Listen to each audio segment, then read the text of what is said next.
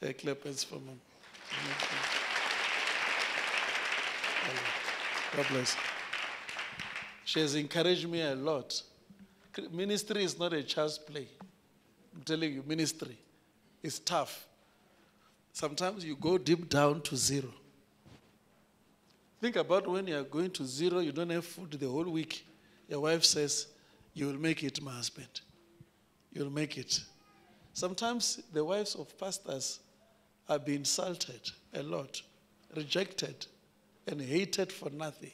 People pretend on them.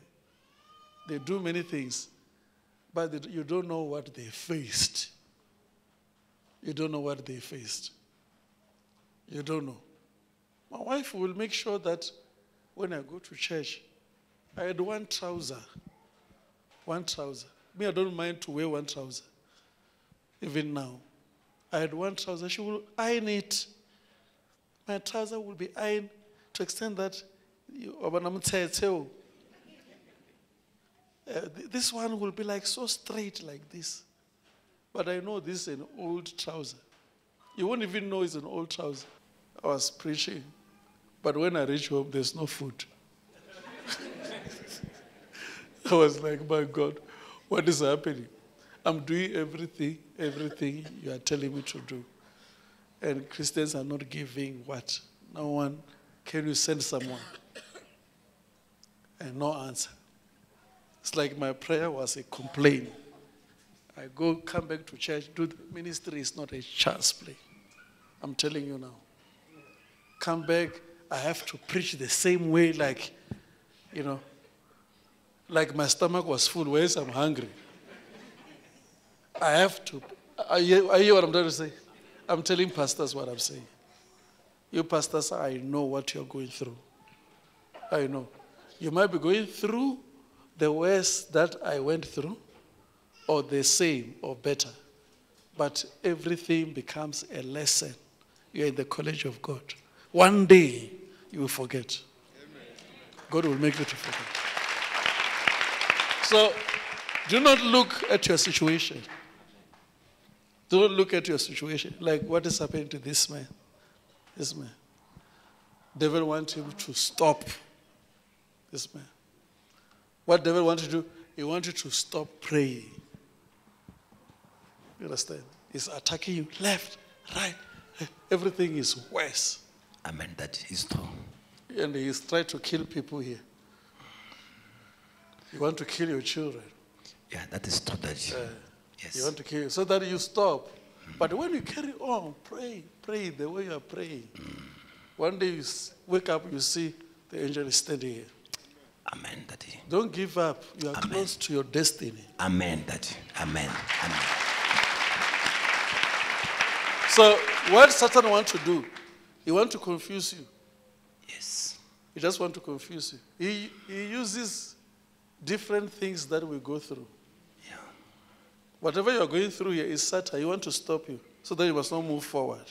Are you hearing me? You that- look at the situation. Ah, look here, I'm doing everything for God. I'm doing this. There's no progress. Why? I'm, I'm trying to do this, do this, do this. I fasted. Sometimes I fast without fasting, but no anointing. Fast without fasting. Sometimes you fast because you don't have food of afternoon. Just say, Lord, I won't eat this food, I'll eat it in the evening. When evening comes, nobody bring food during the day. You say, Oh Lord, I'll eat it tomorrow morning. You realize time is going, you are becoming thin. Fast without fasting. You have faith, believing God to change. Ministry is not a child's play.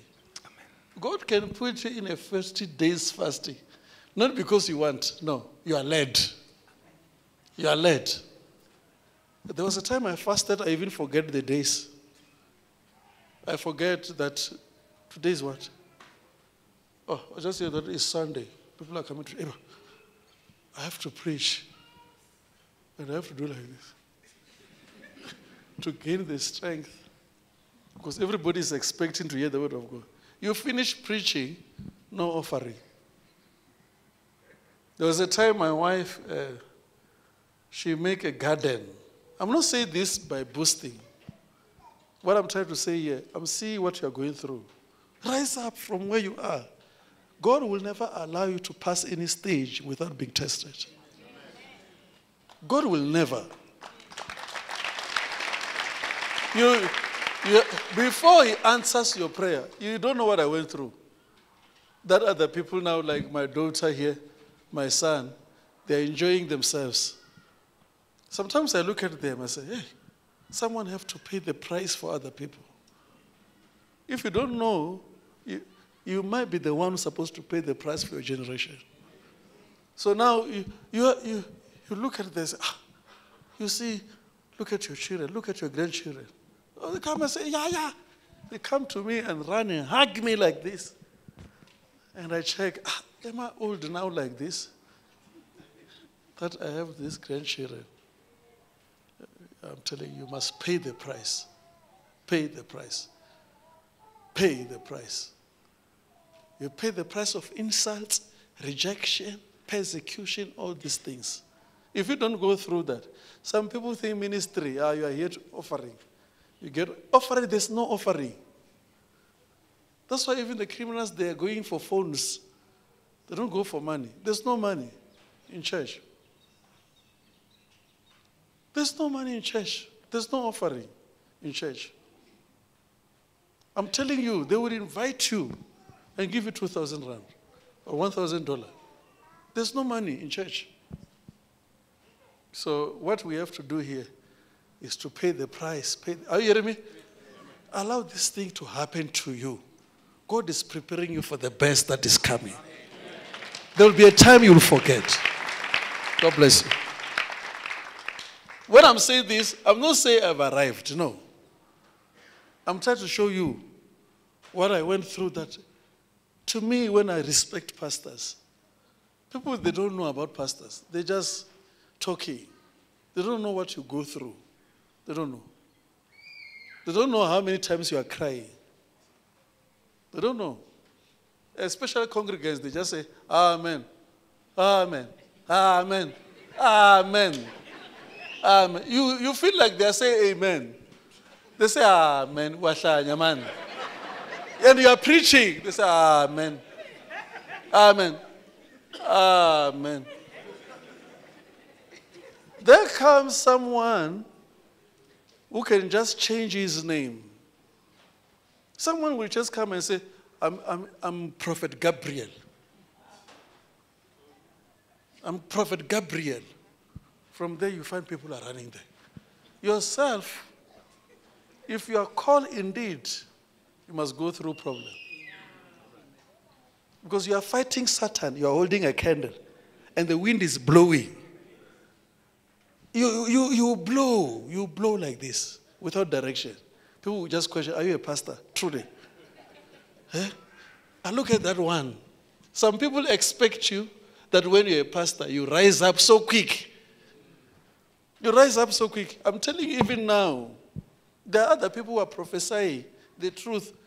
Ministry is no prophecy. You, you, you prophesy, these people prophesy, and you are prophesying the truth, but people are just watching you. You say, oh, this man can prophesy. Eh? And they're sitting on top of us say, yeah, this man, ah, this man can see. I'll go for business tomorrow. They come and see you for business. Say, hey, my business. You explain to them, you see what? Yes, you have got Gogo whom, and you have got Malume whom, and whom your mother is whom. Whatever, you are born in this village, and whatever. Say, hey, how this guy can prophesy. Let me give him 1,000 rand. From there, when you are going out, Holy Spirit says, take that one thousand, give it that one. Because it's a curse to you. So, ministry is not this issue that you get money. The servants of God here, there's a lot. Sometimes when you are busy preaching, you see, you are busy preaching, you find someone like this. you, are, you, are, you, are, you are shouting, you know what? The Bible says, you know, and, and you, you just, your eyes just say, Kah. When you look, you realize there's someone there.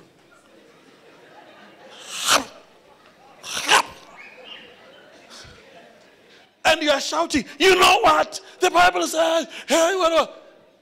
And you think you will wake that person up. Is the more you are pumping. Eh, you, you just say time of offering. You say the way he's wearing tie. He's wearing tie and his specs like this. Can't the specs belong to his uncle? he, you, you are preaching, focusing on him. Oh my God. Uh, uh, he just said, because I have to go to church. And I don't have any, I I have to take my specs of my uncle. And you are, you are not looking, these are all specs. And then you have got big stomach here. Say, today, God has sent this man to come and give. You sleep there, he's snoring there. Now you say, time to give. You wake up.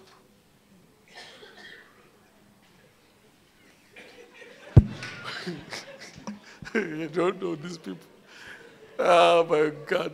He just, he just say, oh man. God is cleaning his mouth. He was, and now he's coming to give offering. You just hold two rand.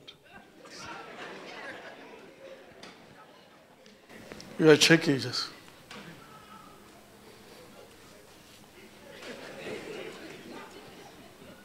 Go outside, you see.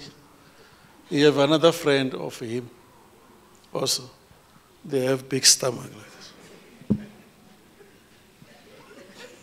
They are going there. You realize that you were preaching looking at them, that maybe God sent them. You? They are not even sent. So when you're a child of God, you forget people. Sometimes you don't even look at them, you just preach, preach, preach, preach. You enjoy yourself. I don't know if you hear me. You preach, you preach, you enjoy, you do the work of God, you leave them. So God bless you. You love everyone, you go home. So I'm just saying this for pastors. Clap hands for these pastors. These pastors are going through it.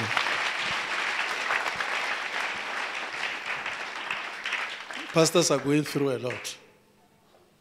Give, give me a mic. We asked five pastors. And by doing that, it's like prayer to you, and God is changing situation. Amen. Greetings in the name of Jesus. uh, what did he said? It happened to me in 2021, whereby everyone who was around, those who were the pillar of the church, they left the church. The church was divided. So I was alone. No one was there for me. I lost everything. The money that was left, I took it and invested in business. Uh, all the partners, they betrayed me. I didn't have food to eat for the whole year of 2021. My family was not there for me. But by the grace of God, whenever, when it's month end, I don't know what has happened. I will just see people whom I don't know to come and give me money. When I look at the money, it was exactly the money for me to pay the rent. But for food, it was difficult in such a way that some of the men of God, they said to me, stop fasting, and I was not fasting. But it's because of the situation. Yes, that's what I'm talking about. You are right. May God give you strength.